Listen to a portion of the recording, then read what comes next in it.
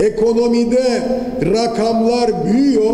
Ekonomide bir büyüme var ama bizim tanımladığımız anlamda bu rakamların büyümesi ya da ekonomide belli bir büyüme hızına ulaşılmış olması bir kalkınmayı, ekonomik ve sosyal kalkınmayı maalesef işaret etmiyor ve bu da böyle olduğu için ekonomideki büyüme doğrudan doğruya toplumun tüm kesimlerinde açık bir şekilde hissediliyor.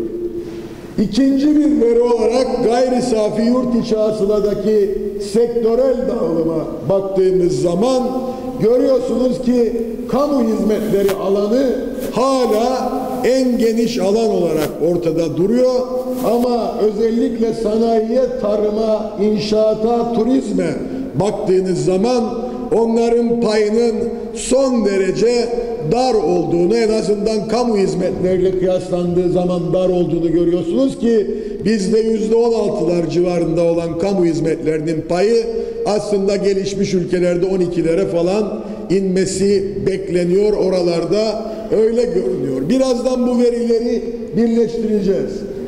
İş gücüne katılım oranı. Şimdi bu son derece önemli. Çünkü biz büyüyen bir ekonomi yanında bir kalkınma hedefiyle yola çıkıyoruz. İş gücüne katılım oranına bakıyorsunuz. Yani kimler istihdam edilmiş artı kimler istihdam edilmek istiyor. Yani iş gücü piyasası içinde yer almak istiyor. Bu sadece yüzde 51.4'te şu anda. Yani halkımızın yüzde 49'u hem istihdam edilmemiş durumda hem de iş gücü piyasası içerisinde yer alma arzusu gösteren bir durumda değil. Daha vahim bir rakam kadınlardaki rakamdır. Kadınların iş gücüne katılım oranına baktığımızda bu yüzde 35'e düşüyor. Yani kadınlarda yüzde 65 ekonomik olarak aslında iş gücü piyasasına katılmayan bir kesim olduğu gibi halkın genelinde de yüzde 48-49 oranında iş gücü piyasasına katılmayan bir kesim var. Bütün bunlar bize aslında bir şeyleri gösteriyor. Daha birazdan vereceğim verilerle birlikte atıl potansiyelimiz, atıl kapasitemiz ne durumdadır ekonomide? Daha kullanabileceğimiz ne kadar potansiyelimiz var? Bunlara ilişkin verilerdir bunlar ve Dünya Bankası verileriyle karşılaştırmalı olarak baktığımızda ki bir parantez açarak gecikmeden söyleyeyim maalesef ülkemizdeki en temel sorunlardan biri de sağlıklı istatistiki verilere ulaşmaktır ve birazdan bununla ilgili çözüm önerimizi de paylaşacağız. Yani bu veriler ancak ulaşılabilir olan verilerdir. Dünya Bankası'nın verileriyle karşılaştırdığınızda iş gücü piyasasına katılım açısından en aşağıda görünen ülke Kuzey Kıbrıs Türk Cumhuriyeti'dir. En geri noktadayız. Baktığınızda en geri noktalardayız. Ama işsizlik oranına baktığınızda bizden daha fazla işsizliği olan ülkeler var. Bu bizi ilk bakışta sevindiriyor gibi görünebilir. Yani bizde işsizlik düşük. Ama bu doğru değil. Bu yanıltıcı bir rakam. Neden?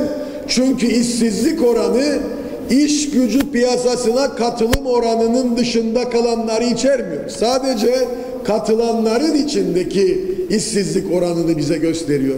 Dolayısıyla katılmak isteyen insanların içinde bu kadar yani yüzde on civarında işsizlik var. Geriye kalanlar zaten otomatik atıl.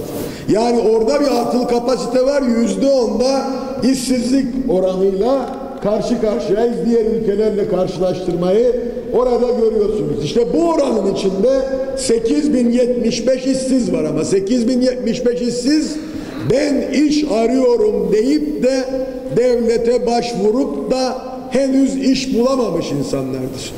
Bizim sizden ricamız mümkün olduğunca bu bütünsel metni tartışın, eleştirilecek yeri varsa eleştirileri duymaya hazırız ama iddiamız şu. Çok özetle bunu söyleyerek bitiriyorum. Biz bu potansiyeli çalıştık.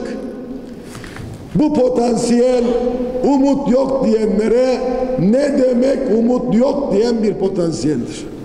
Biz bu potansiyelin nasıl realize olabileceğini de çalıştık. O yüzden bize yapamazsınız diyenlere de cevabımız hazır. Biz çalışırız ve biz yaparız. Biz halkımıza da kendimize de 50 kişilik kadromuza da sonuna kadar inanıyoruz. Beştepe iktidarında bunları o iş planı dediğimiz plan çerçevesinde bir bir bir bir yapacağız. Katıldığınız için çok teşekkür ederim.